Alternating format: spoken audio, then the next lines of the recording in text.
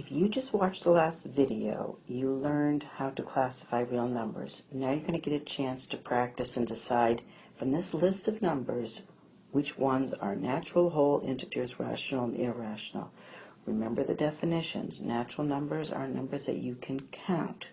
Whole numbers are natural numbers plus zero.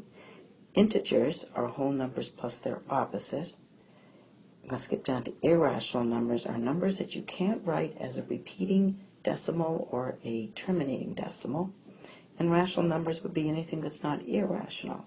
I'll leave this page so you can practice it over and over, and I'm going to put the solutions on this page. So, of the natural numbers, let's see, we have 9, 12 over 4, and we have the square root of 9 square root of 9 because that's equal to 3, which you can count, and 12 over 4, which is also equal to 3, which you can count.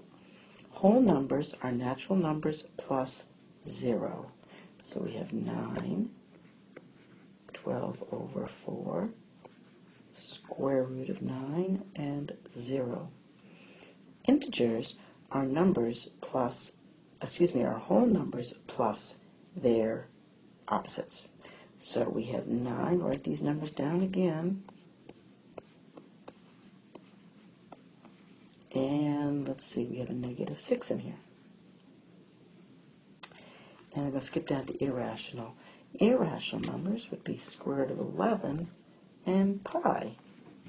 And everything else is rational. So let's list those. We have negative 6, 2.3, 9, 12 over 4, 0, 3 fourths, and the square root of 9. And you remember your numbers are either rational or irrational. So let's count and make sure that we have every number accounted for. 1, 2, 3, 4, 5, 6, 7, 8, 9. 1, 2, 3, 4, 5, 6, 7, 8, 9. Every number has been put in a, in a classification. All right, now this next page, once again, practice these, try them on your own, see how you do, and I'm going to put the solutions on the next page. So natural numbers are numbers we can count. We have 12, uh, over 3, stuck on that number 3 for some reason, and we have the square root of 25, which is equal to 5. And whole numbers are natural numbers plus 0.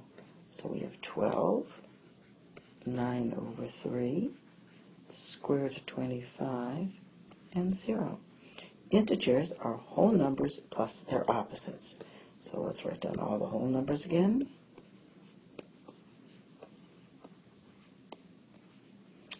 And negative 4 skip down to the irrational, which are really easy to recognize. All radicals, for the most part, unless it's perfect square, like 4 and 9 and 16 and 25, in this case 25, 36, 49, 81, 100, 121, 144. All right, and pi. Pi is always irrational. And the rational numbers are everything else. So we have 12, we have 3 over 8, lovely fraction negative 4, 6.5, can also be written as a fraction, uh, 9 over 3, 0, square root of 25. And let's count again. 1, 2, 3, 4, 5, 6, 7, 8, 9. 1, 2, 3, 4, 5, 6, 7, 8, 9. So, how did you do? This workforce product was funded by a grant awarded by the United States Department of Labor's Employment and Training Administration. The product was created by the grantee and does not necessarily reflect the official position of the U.S. Department of Labor.